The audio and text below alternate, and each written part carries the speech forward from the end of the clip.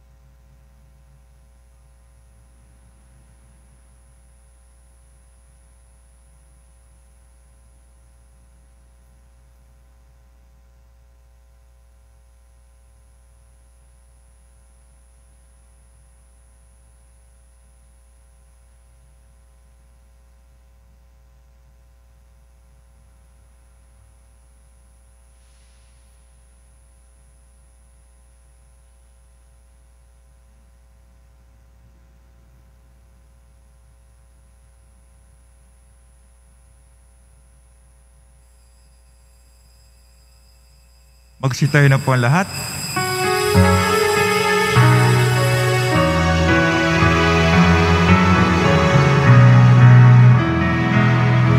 Magalak tayong lahat.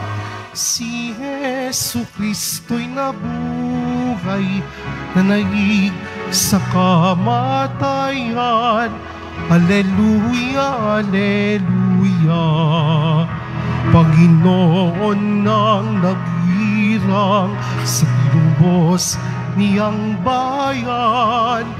Nagpupuring mga hinirang Masayang nagdiriwang. Magalak tayong lahat. Si Yesu Kristo'y nabuhay Nanaig sa kamatayan Aleluya, Aleluya Sa ngala ng Ama, ng Anak, ng Espiritu Santo, Amen. ang pagpapala ng ating Panginoong Kristo, ang pag-ibig ng Diyos Ama, at ang pagkaisa ng Espiritu Santo na way sumainyong lahat. At sumayo rin. Mga kapatid, nasa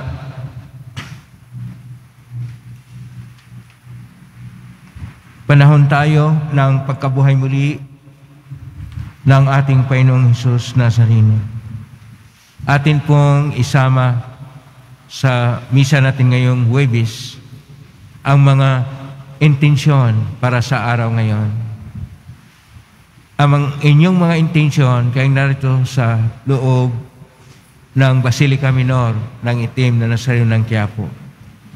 Ang mga intensyon ng mga nakiisa sa atin sa pangitan ng live streaming through Facebook Live, YouTube at iba pang social media dito sa ating bansa at sa iba't ibang dako ng mundo.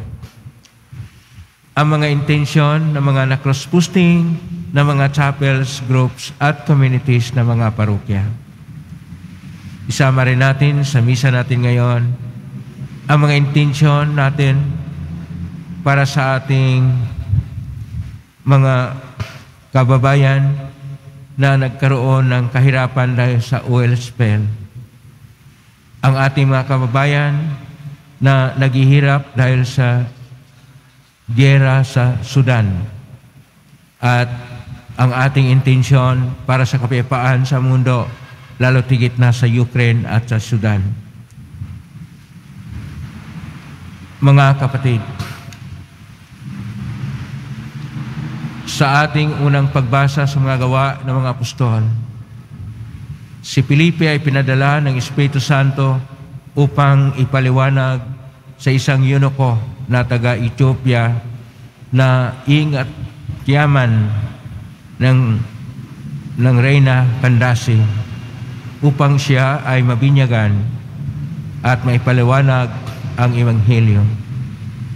Sa ating Ebanghelyo ni San Juan, sinasabi ng ating Panginoon na tayo ay tuturuan ng Diyos. Sa buhay natin, tinuturuan tayo, ipinaliwanag ng ating Panginoon ang landas tungo sa ating kaligtasan. Ngunit dahil sa ating karapukan at kahinaan, tayo pa rin ay nagkasala. Kaya aminin po natin ang ating mga kasalanan upang tayo maging marapat gumanap sa banal na pagdiriwang. Inaamin ko sa makapangyarihang Diyos at sa inyong kapatid na lubha akong nagkasala sa isip, sa salita, sa gawa at sa aking pagkukulang. Kaya isinasamo ko sa mahal na Berhen Maria, sa lahat ng mga anghel at mga banal. At sa inyong kapatid, na ako ay panalangin sa Panginoong ating Diyos. Kaawaan tayo na makapangyarihang Diyos. Patawarin tayo sa ating mga kasalanan at patnubayan tayo sa buhay na walang hanggan. Amen. Panginoon, kaawaan mo kami. Panginoon, kaawaan mo kami. Kristo, kaawaan mo kami. Kristo, kaawaan mo kami. Panginoon, kaawaan mo kami. Panginoon, kaawaan mo kami. Manalangin tayo. Ama naming makapangyarihan, kami naway maging lalong masigasig sa pagdiriwang ngayon ng iyong pag-ibig, sapagkat sa panahong ito ng pagkabuhay, higit naming nalalaman na mga hinango mo sa dilim ng kasalanan ay katibayan ng iyong pagkamaaasahan. Sa pamagitan ni Kristo kasama ng Espiritu Santo, magpa sa walang hanggan. Amen. Magsipo muna lahat.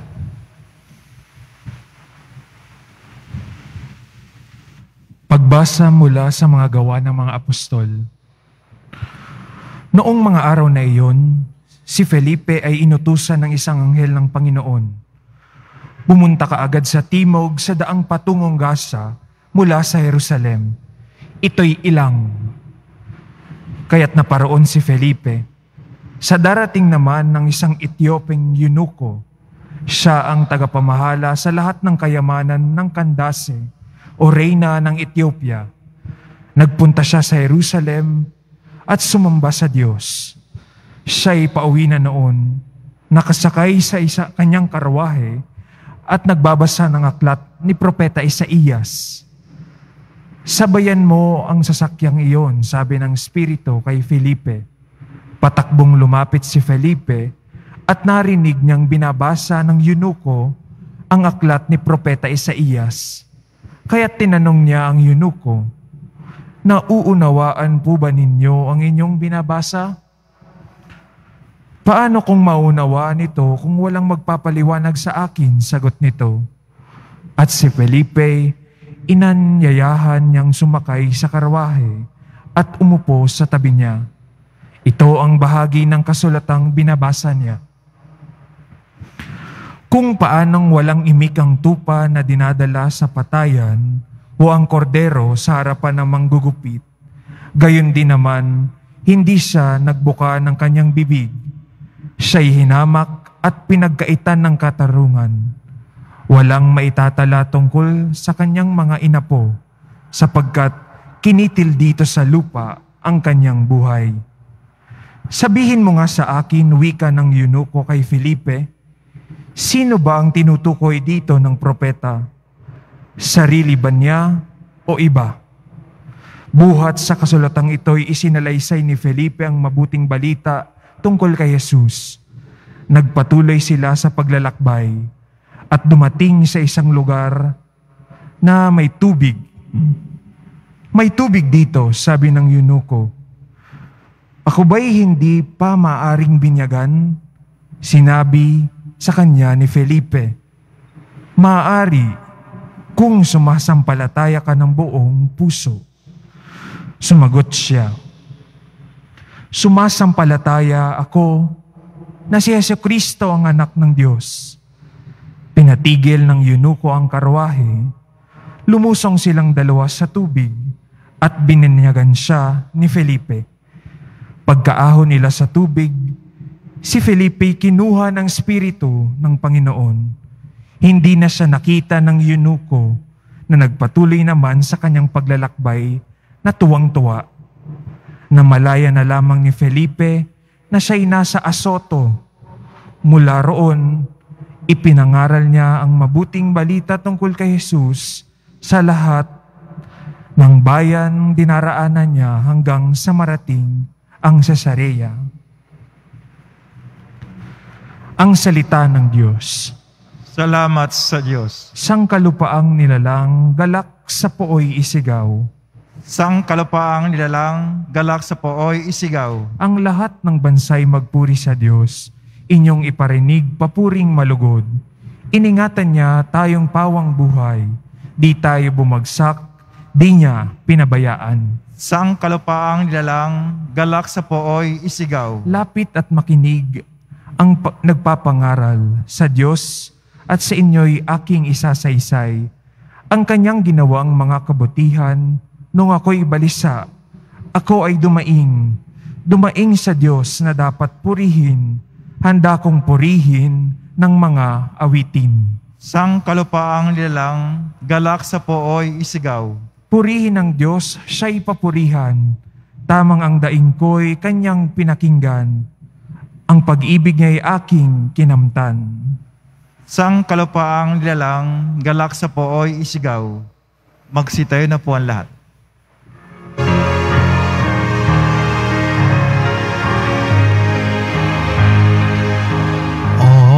Hallelujah. Hallelujah. Hallelujah. Hallelujah.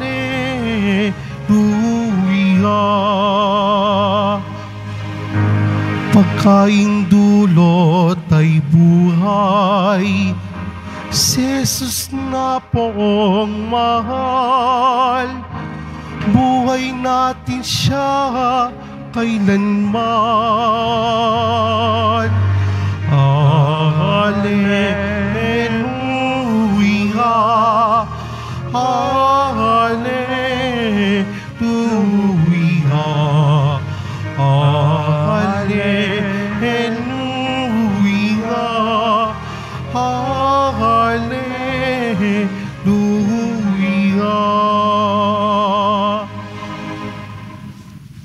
Sumainyo ang Panginoon. At sumayo rin.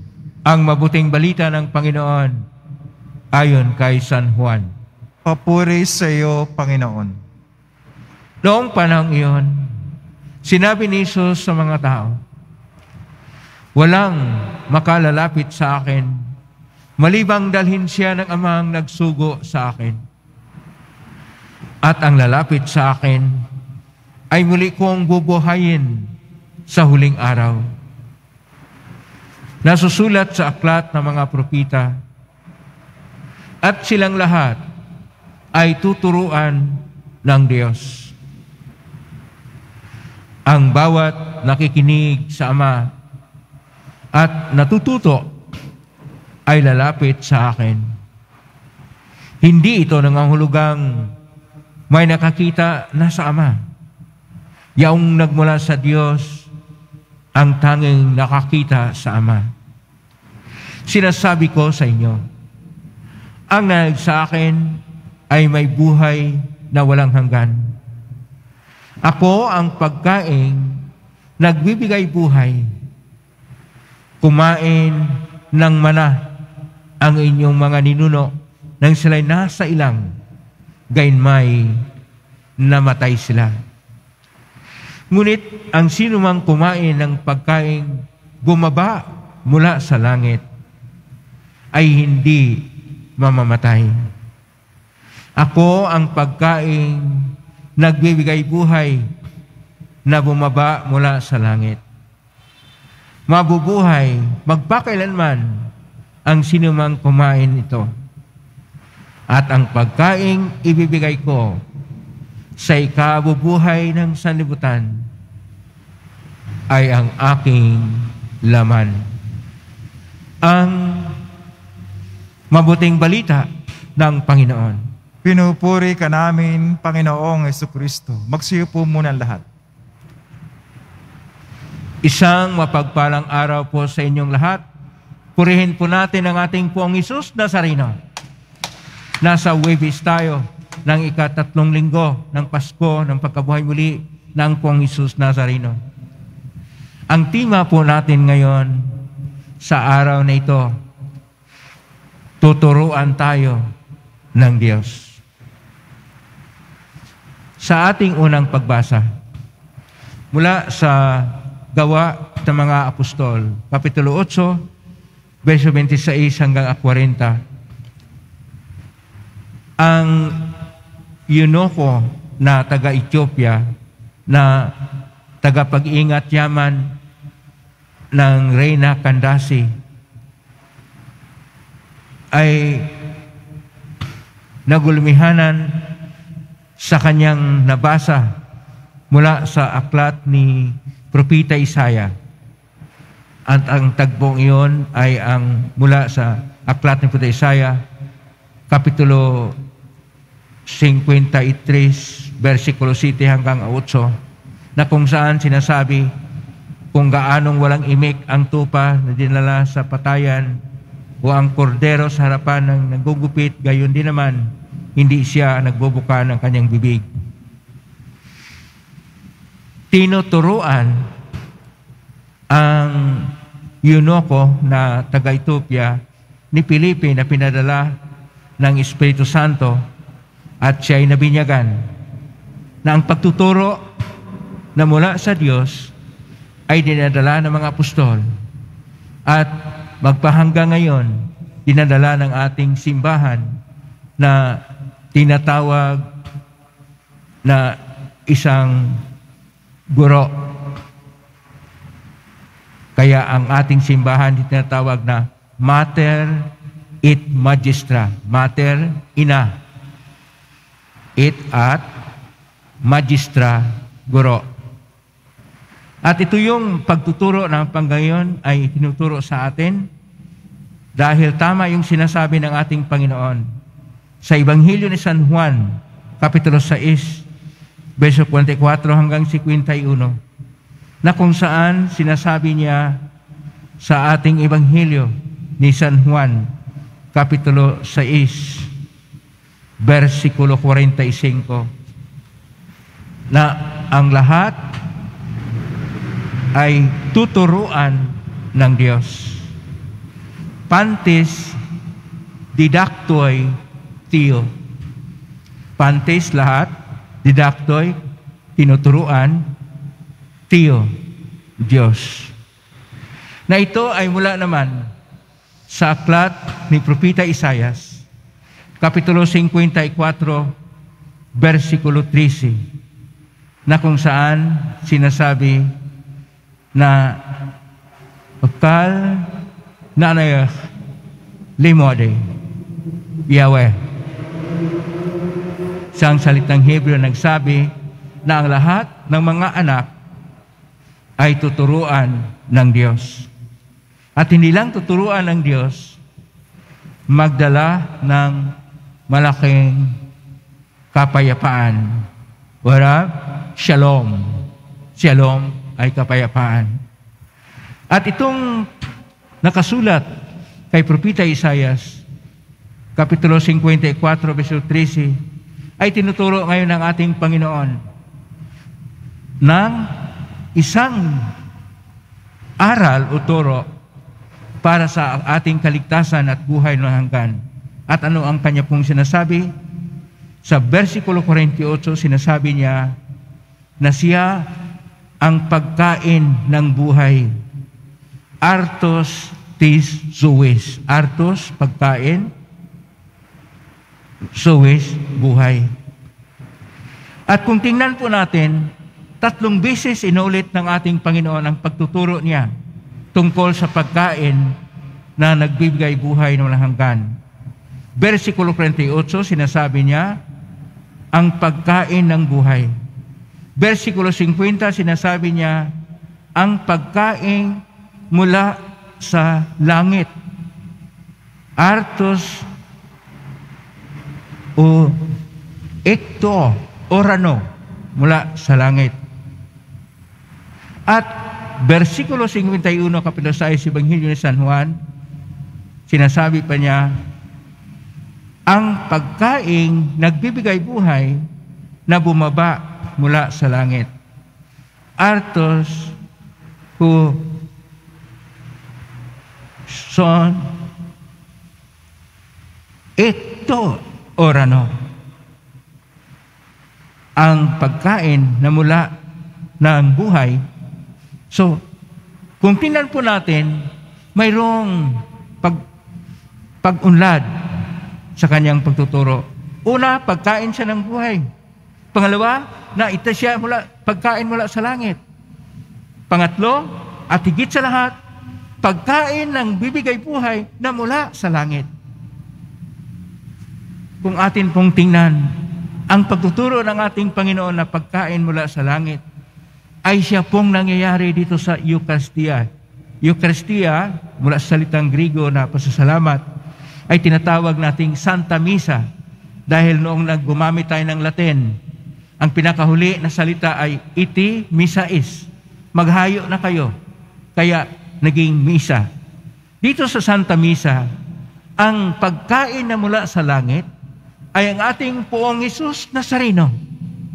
At siya na pagkain mula sa langit ay siya yung sinasabi na para siyang tupa na walang imik, na handa ng patayin.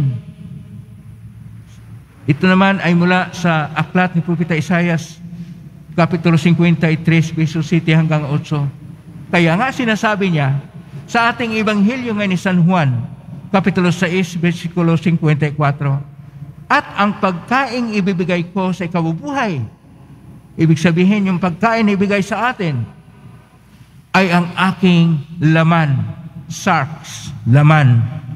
Na ibig sabihin, kanya pong inihanda na isakripisyo ang kanyang sarili. At ang kanyang pagsakripisyo nito ay upang tayo ay maligtas. At kung tayo ay kanyang matubos at maligtas, magkaroon tayo ng buhay na walang hanggan. Kaya ang ating poong Jesus Nazareno, at ito yung turo ng Diyos, ay pagkain nagbibigay buhay. Kaya dito sa Santa Eucharistia, tayo po'y bibigyan ng nakonsagra na tinapay na hindi na po tinapay, naging laman, naging katawan ni Kristo. At sinasabi, katawan ni Kristo. At dapat sasagot tayong malakas, Amen. Siya na nga si Kristo na tinatanggap natin. At dahil dito, tayo na nakatanggap sa ating Panginoong Isus sa kanyang laman, sa kanyang katawan, ay magkaroon ng kaligtasan. At dahil magkaroon tayo ng kaligtasan, tayo ay magkaroon buhay na walang hanggan. Hindi kagaya sa mga Hudyo noon. Nung nasa sila ilang, sa panahon ni Moises, pinakain sila ng mula sa langit na pagkain na tinatawag na mana. Mana ay salitang Hebrew na ibig sabihin, ano ito? At sila'y namatay. Pero tayo, kapag ka nabubuhay sa panampalataya, at tayo'y tumanggap ng katawan ni Kristo, tayo'y maligtas at magkaroon tayo ng buhay na walang hanggan. Salamat sa ating pong Isus Nazareno. Salamat sa kanyang pag-alay ng kanyang buhay. Amen? Purihin natin ang Diyos.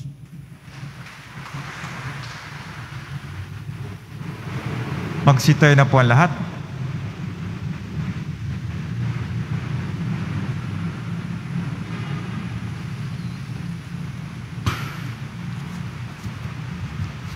Minamahal ko mga kapatid, lumapit tayo ngayon at manalangin sa Diyos Ama na sa kabutihan ng kanyang puso ay sinugo ang kanyang anak, ang tinapay ng buhay. Atin pong itutugon, Ama, turuan mo kami sa pamagitan ng iyong anak. Ama, turuan mo kami sa pamamagitan ng iyong anak. Ang bayan ng Diyos na pinalalakas ng Eukaristiya, naway magkaisang mamuhay sa pananampalataya at pag-ibig. Manalangin tayo. Ama, turuan mo kami sa pamamagitan ng iyong anak. Sa pagtanggap natin sa Eukaristiya ng may pagpapahalaga, naway mapalalim natin ang pag-ibig sa isa't isa. Manalangin tayo. Ama, turuan mo kami sa pamamagitan ng iyong anak. Tayo naway hindi magkulang sa pagbabahagi ng mga biyaya sa mga nangangailangan at sa gayon ay makatulad tayo ni Kristo na nag-alay ng sarili. Manalangin tayo. Ama, turuan mo kami sa pamamagitan ng iyong anak. Ang mga may karamdaman sa katawan at pag-iisip, naway palakasin ng kanilang pagtanggap ng katawan ng dugo ni Kristo sa Eukaristiya. Manalangin tayo. Ama, turuan mo kami sa pamamagitan ng iyong anak. ang mga yumao naway makabahagi sa ipinangakong piging sa langit ng Panginoon. Manalangin tayo. Ama, turuan mo kami sa pamamagitan ng iyong anak. Sa tahimik idulog natin sa Panginoon ang ating mga sariling kahilingan. Ama naming makapangyarihan, patnubayan mo kami sa aming paglalakbay at tulungan kaming lumakad sa daan ng iyong anak na si Jesus na siyang tinapay ng buhay. Ring namin ito sa pamitan ni Kristo na aming Panginoon. Amen. Magsiyo po muna ang lahat.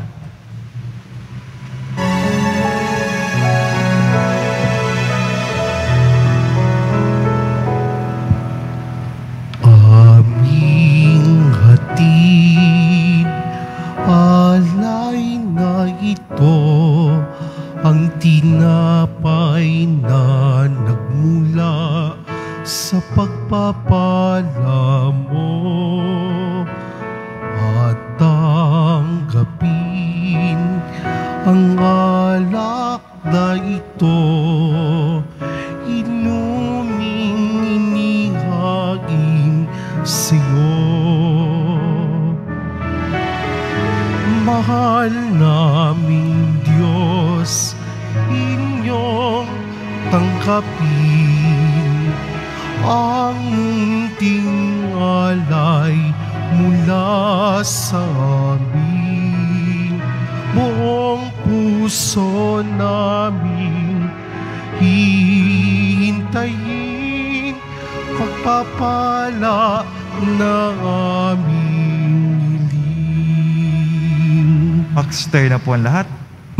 Ni kapatid upang paghahain natin ay kalugdan ng Diyos amang makapangyarihan. Tanggapin nawa ng Panginoon itong paghahain sa iyong mga kamay, sa kapuri niya at karangalan, sa ating kapakinabangan at sa buong sambayan ng banal. Ama naming lumikha, sa paghahain ng banal na pagpapalitan ng iyong mga kaloob at ng aming alay, kami pinapapasalo mo sa iyong buhay na namakutangi at walang kapantay. Ipagkaloob mo ang aming pakikinabang sa iyong pakikisamang aming maasahan. Ay siya ring umiral sa aming pamuhay araw-araw. Sa pagitan ni Kristo kasama ng Espiritu Santo, magpa sa walang hanggan. Amen. Sumainyo ang Panginoon. At sumayo rin. Itaas sa Diyos ang inyong puso at diwa. Tinaas na namin sa Panginoon. Pasalamatan natin ang Panginoong ating Diyos. Marapat na siya ay pasalamatan. Ama ng kaparihan, tunay marapat ni kay aming pasalamatan ngayong pinagdiriwang paghahain ng Mesiyas, ang maamong tupa na tumbos sa aming lahat. Siya talagang maasahan at ang katapatan niya sa pananagutan ay siyang bumago sa dating pamumuhay sa sangkatauhang namihasa sa pagkasalawahan. Ang dangal ng tao ay ganap na itinampok upang mamana namin sa pagkipagkapatid kay Jesus. Kaya kaisa namang ngayon sisiawit ng papuri sa humpay sa kalangitan, kami nagugunyi sa kadakilaan. Santo, Santo, Santo, Panginoon Diyos ng mga hukbo, napupuno ang langit at lupa ng kadakilaan mo, o sana sa kaitaasan. Pinagpala ng paririto sa ngalan ng Panginoon, o sana sa kaitaasan. Magsilod po ang lahat. Ama naming banal, ikaw ang bukal ng tanang kabanalan. Kaiswitan ng Espiritu ng banal ang makalob na ito upang para sa aming maging katawan at dugo ng aming Panginoong Kristo. Bago niya pinagtisang ko sang loob na maging handog, hinawakan niya ang tinapay. Pinasalamatan kanya. Pinagati-hati niya yon. Iniabot sa kanyang malagad at sinabi, Tanggapin ninyong lahat ito at kanin. Ito ang aking katawan na iahandog para sa inyo.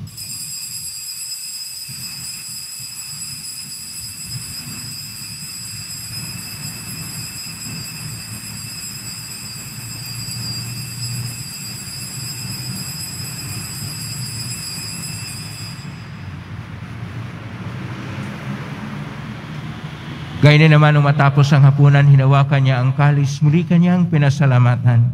Inabot niya ang kalis sa kanyang malagad at sinabi, Tanggapin ninyong lahat ito at inumin. Ito ang kalis ng aking dugo ng bago at walang hanggang tipan.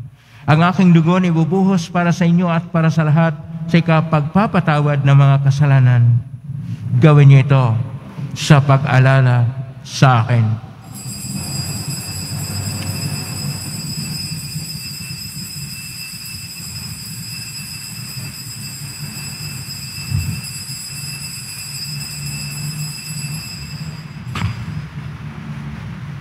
Magsitayo na po ang lahat.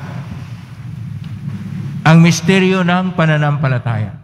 Kristo'y namatay, si Kristo'y nabuhay, si Kristo'y babalik sa wakas ng panahon. Ang mga ginagawa namin ngayon ang pag-alalas, pagkamatay at muling pagkabuhay ng anak at naalay namin sa iyo ang tinapay na nagbibigay buhay at ang kalis na nagkakaloob ng kaligtasan. Kami nagpapasalamat at narapat na tumayo sa harap mo para maglingkod sa iyo. Isinasamo namin kami magsasalo-salo sa katawan at dugo ni Kristo ay mabuklod sa pagkakaisa sa pamagitan ng Espiritu Santo. Ang malingapin simbahang laganap sa mong daigdig, pustusin mo kami sa pag-ibig kaisa ni Francisco na aming Papa at ni Jose na aming Obispo at ng Tanang Kaparihan. Alalahanin mo rin ang mga kapatid naming nahimlay na may pag-asang sila'y muling mabuhay, ganin ang lahat ng mga pumanaw. Kaawaan mo sila at patuloyin sa iyong kaliwanagan. Kawan mo dapatin kaming lahat na makasalo sa iyong buhay na walang wakas kaysa na Birhen Maria na ina ng Diyos ng kabiyak ng puso niyang San Jose, kaysa mga apostol, ni San Juan Bautista, ni San Roque, ni San Lorenzo Reyes de Manila, ni San Pedro Calungsod at ang lahat ng mga banal na namuhay dito sa daigdig ng kalugod-lugod sa iyo. Maipagdiwang nawa namin ang pagpupuri sa karangal mo sa pagitan ni anak na aming Panginoong Heso Kristo.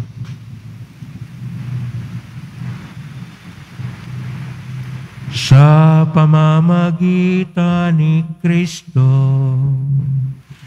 kasama niya at sa Kanya,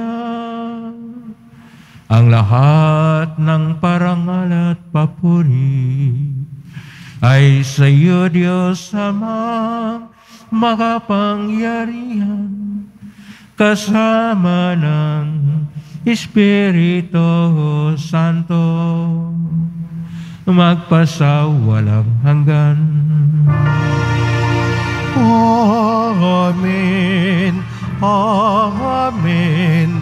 Amen. Amen. Sa tagubilin galing na utos sa turo ni Jesus na natin at Diyos, ipahayag natin ng lakas loob. Ama namin, sumasalangit ka, sambahin ang ngalan mo. Mapasa amin ang kaharian mo. Sundin ang loob mo dito sa lupa para nang sa langit. Bigyan mo kami ng aming kakanin sa araw-araw. At patawarin mo kami sa aming mga sala para ang pagpatawad namin sa nakakasala sa amin. At huwag mo kaming ipahintulot sa tukso at iadya mo kami sa lahat ng masama. Miling namin kami adya sa lahat ng masama. Pagkalooban ng kapayapaan araw-araw. Iligtas sa kasalanan tilay sa lahat ng kapahamakan. Samantalang aming pinanabikan ang dakilang araw ng pagpapahayag ng tagapagligtas naming si Iso Kristo. Sapagkat iyo ang karian at ang kapangyarihan at ang kapurihan magpakailanman. Amen. Panginoong Iso Kristo, sinabi mo sa mga apostol, kapayapaan ang iniiwan ko sa inyo, ang aking kapayapaan ang binibigay ko sa inyo. Tunghayin mo ang aming panampalataya at huwag ang aming pagkakasala. Pagkalooban mo kami ng kapayapaan at pagkakaisayin siyang kalooban kasama ng Espiritu Santo, magpa sa walang hanggan. Amen. Ang kapayapaan ng Panginoon ay laging sumainyo. At sumayo rin. Magbigayin kayo ng kapayapaan sa isa't isa.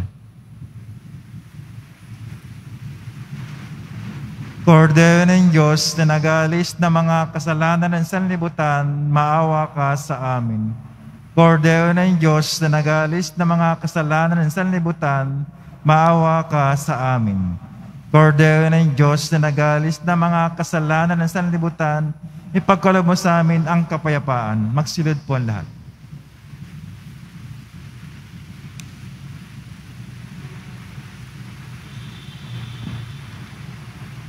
Ito ang kordero ng Diyos.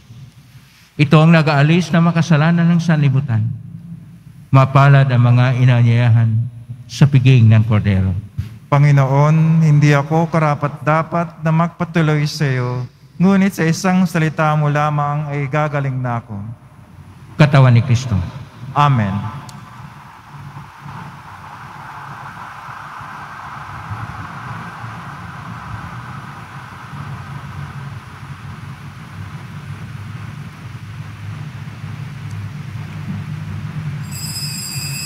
Para sa lahat ng tatanggap ng banal na komunyon, sasagot po tayo ng amen pagkasabi ng pare o ng lay minister ng katawan ni Kristo.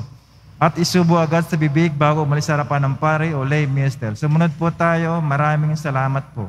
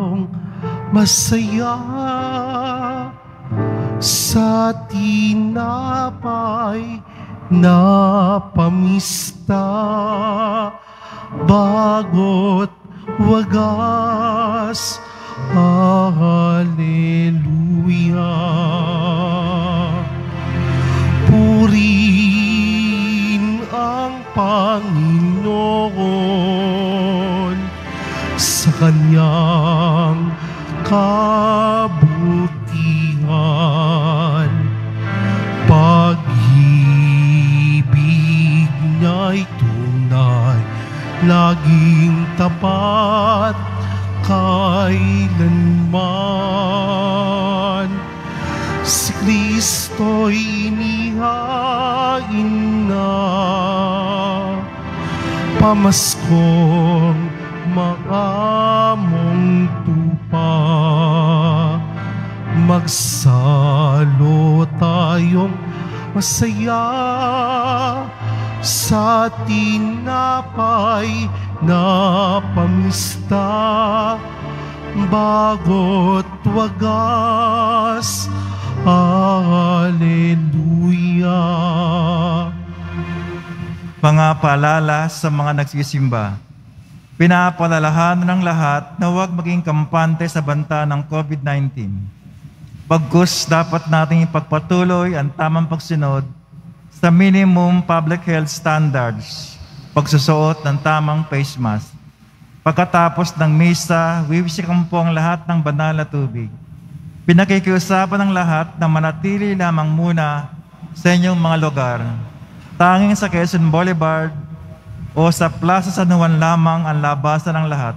Sumunod po tayo. Maraming salamat po sa inyong pagdalaw at pagsisimba sa Basilica Minor ng Itim na Nazareno. Magsitayo na po ang lahat. Manalangin tayo. Ama naming mapagmahal, manatili kang kapiling ng iyong sambayanan na ngayon pinapakinabang mo sa iyong sariling buhay.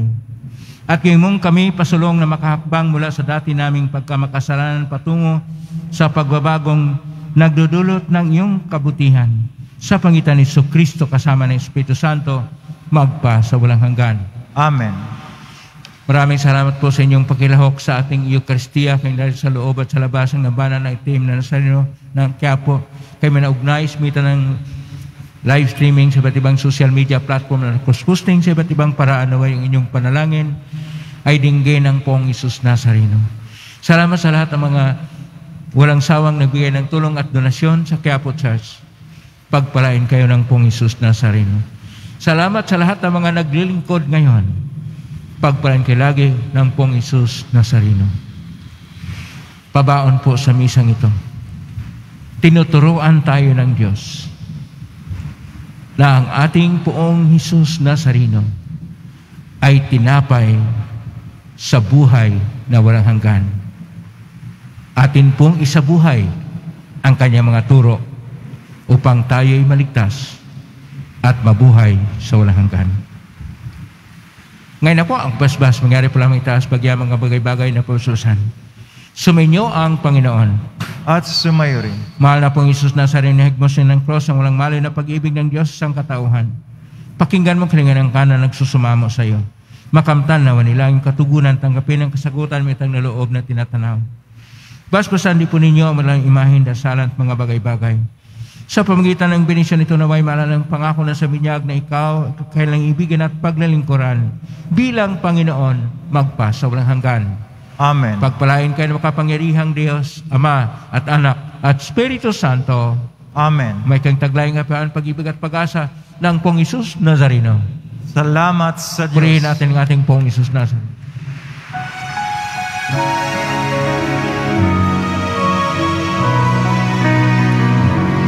Nuestro Padre Jesus Nazareno, sinasamba ka namin. pinipintuho ka namin. Aral mo ang aming buhay at kaligtasan. Nuestro Padre Jesus Nazareno, iligtas mo kami sa kasalanan.